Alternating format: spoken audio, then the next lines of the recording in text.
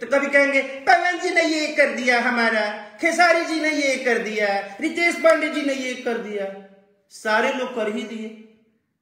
आप अपने आप को गवैया बोलते हैं अपने मुँह में इतना गंदा सा कीड़ा लेके। आप क्या करते हैं? पवन जी ने मेरा ये गा दिया खेसारी जी ने मेरा ये चुरा लिया रितेश पांडे जी ने मेरा गाया है। सारे लोग आप ही का गाना गाए हैं। आपको यह नहीं पता है कि जब से हमारे माननीय पवन सिंह जी गा रहे हैं, जब पवन सिंह जी का पहला एल्बम आया होगा, तब आप शायद धरती पे पैदा भी नहीं हुए होंगे। कलाकारों के लिए अपमान नहीं होता। कभी पवन जी का अपमान, कभी खेसारी जी का अपमान, कभी रितेश पांडे जी का अपमान, कभी कोई और मेरे भाई का अपमान। पवन जी ने 25 साल 30 साल मेहनत किया है। खेसारी जी ने 20 साल 30 साल मेहनत किया है। रितेश पांडे 15 साल से मेहनत छी छी छी छी छी छी।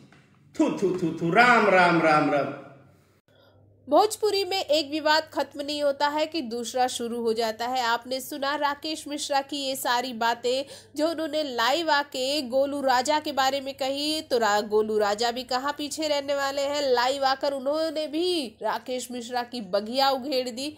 अब ये जो लड़ाई है और वल्गर और वर्स होती जा रही है खैर उस पर हम नहीं जाएँगे। जाएँगे हम इस पर कि पवन सिंह के जो फैंस हैं वो भड़क गए हैं राकेश मिश्रा पर। जी हाँ राकेश मिश्रा का के, के लिए पवन सिंह के फैंस ये कह रहे हैं कि जब पवन सिंह की लड़ाई चल रही थी या पवन सिंह का विवाद चल रहा था तो उन्होंने किसी भी भोजपुरी कलाकार का नाम नहीं लिया।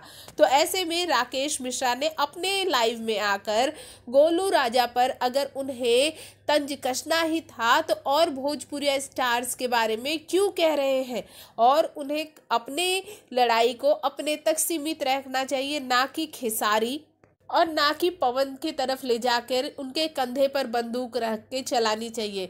गोलू राजा तो भड़के ही है। गोलू राजा के फैंस भी राकेश मिश्रा पर भड़के। लेकिन अब पवन के भी फैंस राकेश मिश्रा पर भड़क गए हैं और राकेश मिश्रा को ये तक कह रहे हैं कि आप पवन सिंह के कंधे पर बंदूक रख कर चला रहे हैं, जो कि सही नहीं है। क्या जो पवन सिंह के फैंस राकेश मिश्रा पे एलिगेंस लगा रहे हैं, उन्हें ट्रोल कर रहे हैं, वो सही है। अगर सही है तो कमेंट बॉक्स में कमेंट कीजिए और साथ ही चैनल को सब्सक्राइब करना बिल्कुल ना भूलिए।